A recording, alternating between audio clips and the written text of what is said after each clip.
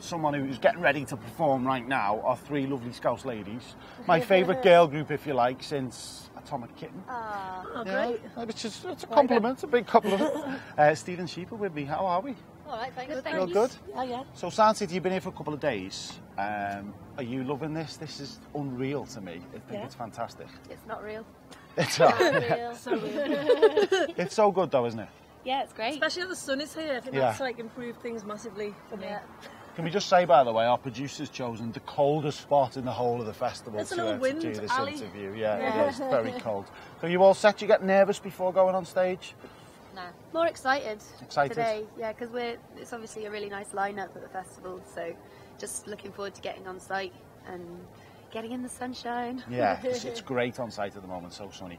What makes, in your opinion, a really good gig? How do you get that crowd going? Is it easier when you're in Liverpool to do that?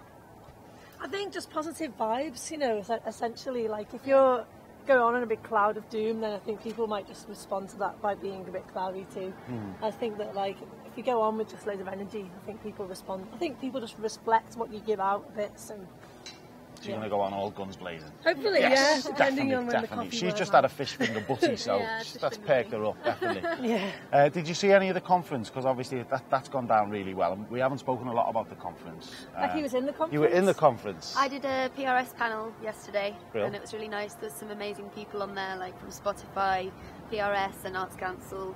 Um, another artist called Fem, who's playing tonight at 10:30. We've just interviewed Fem on the a cool Dodgems. girl. Yeah. She's a cool girl. I can imagine that was the right place It for her. She She's loved it. got pink hair and she's a crazy lady. Oh, she wearing fluffy earrings. Fluffy Yeah. earrings, Ah, yeah. I saw her. Yeah. She was great. But she was a really nice person to meet. and She's self-produced as well, so it's quite interesting. She was. She was a Yeah. nice girl. And you guys, second album now, not real. It's going down really well. Are you enjoying it? Yeah. Yeah, the buzz from the album is, Yeah. is really cool on social media and stuff, and obviously it's gone down well in, in Liverpool and beyond. Um, you must be very proud of it. Yeah, definitely. Yeah, I'm dead proud of it. It's got a bit more legs, this one. A bit more legs. Literally. the theme is legs. Oh, Lucy. busy summer for you three as well. Yeah. Uh, lots of gigs, lots of fezzies. Is this like the first big one to get you in the mood? Yeah, it is, isn't It it? is the first, yeah. Yeah. What Let else? me play. Um, Glastonbury, End That's of the the Road, old Bill. Festival Field number Day. six, Field Day, uh, Port Eliot. We're, we're supporting Unknown, Unknown Mortal Orchestra next weekend. next Thursday, Bill. and we go. We play on on Heath, on Blackheath, Oh yeah. and uh, Fire in the Mountain Festival next weekend. So you're non-stop? yeah. Just really quickly, where can we find out more for viewers at home about, about Stealing Sheep? Where can we hear some music?